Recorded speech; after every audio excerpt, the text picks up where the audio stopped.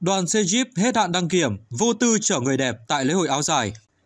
Chiều tối ngày 12 tháng 3, thông tin từ Phòng Cảnh sát Giao thông Công an tỉnh Nghệ An cho biết, đơn vị vừa phối hợp với Công an thị xã Cửa Lò xác minh làm rõ các trường hợp vi phạm về an toàn giao thông tại lễ hội áo dài Hoa Cúc Biển Cửa Lò năm 2023.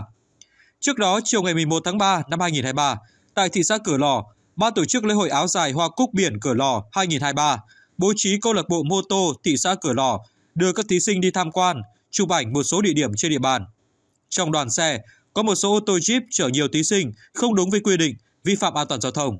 Ngay sau khi nhận được thông tin, lãnh đạo công an Nghệ An đã chỉ đạo phòng cảnh sát giao thông thành lập 3 tổ công tác, phối hợp với công an thị xã Cửa Lò chủ động làm việc với các tập thể cá nhân có liên quan, thu thập tài liệu hình ảnh để làm cơ sở cho việc xử lý vi phạm.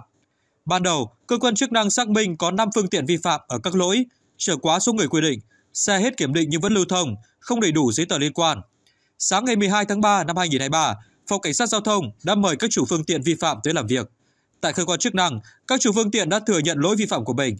Tại sự kiện nói trên và chấp nhận các hình thức xử phạt theo quy định của pháp luật. Phòng Cảnh sát Giao thông đang xác minh xử lý các trường hợp vi phạm.